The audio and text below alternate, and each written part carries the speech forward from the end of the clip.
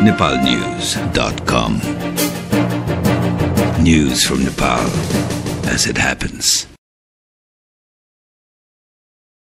काठमाडौँबाट प्रकाशित नेपाली राष्ट्रिय दैनिक पत्रिकाहरूको समाचार सार संक्षेपमा स्वागत छ।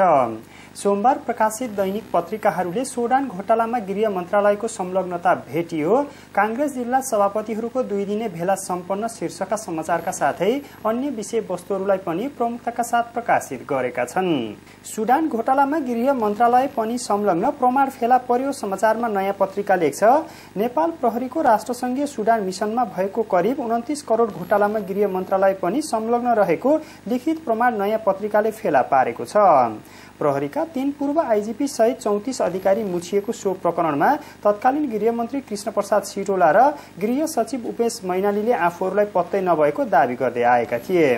प्राप्त प्रमाण अनुसार सुडानको डारफलमा शान्ति मिसनमा जान तत्कालीन मन्त्री परिषदबाट निर्देशन पाएपछि तत्कालीन प्रहरी महानिरीक्षक ओम विक्रम राणाले आवश्यक सामग्री किन्ने स्वीकृतिका लागि गृह मन्त्रालयमा पत्रचार गरेका थिए। उनले कुन कुन उपकरणमा कति मात्रामा कुन कम्पनीबाट किन्न थालिएको छ भन्ने विवरण लेखेर स्वीकृतिका लागि गृह मन्त्रालयमा अनुरोध गरेका थिए।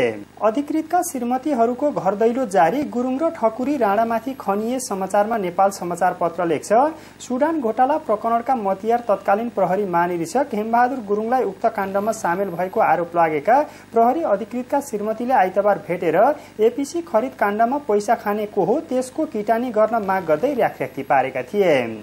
ती अधिकृतका श्रीमतीहरूले पूर्व प्रहरी महानिरीक्षक गुरुङलाई पटक पटक आफूहरूको प्रश्नको जवाब दिन आग्रह गरेका थिए। प्रधानमन्त्री कार्यालयलाई अख्तियारको पत्र अर्को समाचारमा सोही पत्रिका लेख्छ संयुक्त राष्ट्रसंघबाट अनुरोध भए बमोजिम द्वन्द्वरत विभिन्न मुलुकमा खटिएका सुरक्षा टोलीका लागि पठाइने बन्दोबस्तीका सामान खरिद गर्दा अबदेखि सरकारको बजेटबाट गर्न अख्तियार दुरूपयोग अनुसन्धान आयोगले आइतबार प्रधानमन्त्री तथा मन्त्री परिषदको कार्यालयलाई निर्देशन दिएको छ। अख्तियार उच्च स्रोतले नेपाल समाचार पत्रलाई दिएको जानकारी अनुसार अख्तियारले आइतबार नै सो सम्बन्धी निर्णय गरी त्यसको जानकारी प्रधानमन्त्री तथा मन्त्री परिषदको कार्यालयमा पठाएको हो। दबापछि मुद्दा परिवर्तन समाचारमा नागरिक लेख्छ अघिल्लो बुधबार मोरङ जिल्ला अदालत परिसरमै बन्दीको हत्या गर्ने उद्देश्यले आक्रमण गर्नेहरूलाई प्रहरीले सर्वत्र दबापछि बल्ल फौजदारी मुद्दा दायर गर्ने भएको छ। प्रहरी सुरक्षामा रहेका बन्दी अभिषेक गिरीमाथि अदालत परिसरमै सांघातिक आक्रमण गर्ने एमालेको युवा दस्ता युथ फोर्स मोरङ अध्यक्ष परशुराम बस्नेत समूहका आक्रमणकारीमाथि ज्यान मार्ने उद्योगमा मुद्दा दर्ता गर्न प्रहरी मन्जुर भएको छ। काङ्ग्रेस भदौ चौध पछि आन्दोलनमा समाचारमा सोही पत्रिका लेख्छ।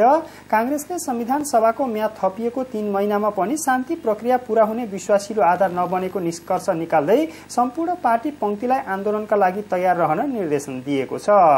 काभ्रेतको धुलीखेलमा आइतबार सम्पन्न दुई दिने जिल्ला सभापति र केन्द्रीय समितिको संयुक्त भेलाले तेह्र बुधे प्रस्ताव पारित गरी यस्तो निष्कर्ष निकालेको हो।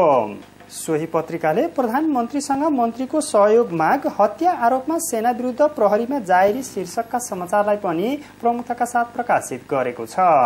सरकारी अकर्मणीयताले चरम आर्थिक संकट अर्कोमा कारोबार दैनिक लेख्छ। निजी क्षेत्रले आर्थिक क्षेत्रमा देखिएको अहिलेको संकट सरकारी अकर्मणीयताका कारण उत्पन्न भएको आरोप लगाएको छ। संकट मोचनका उपाय खोज्न अर्थ मन्त्रालयले आइतबार बोलाएको भेलामा निजी क्षेत्रले सरकारको क्षमतामाथि नै प्रश्न उठाएको छ। हवस् त आजलाई नेपाली राष्ट्रिय दैनिक पत्रिकाहरूको समाचार सार संक्षेप यति नै nepalnews.com. News from Nepal as it happens.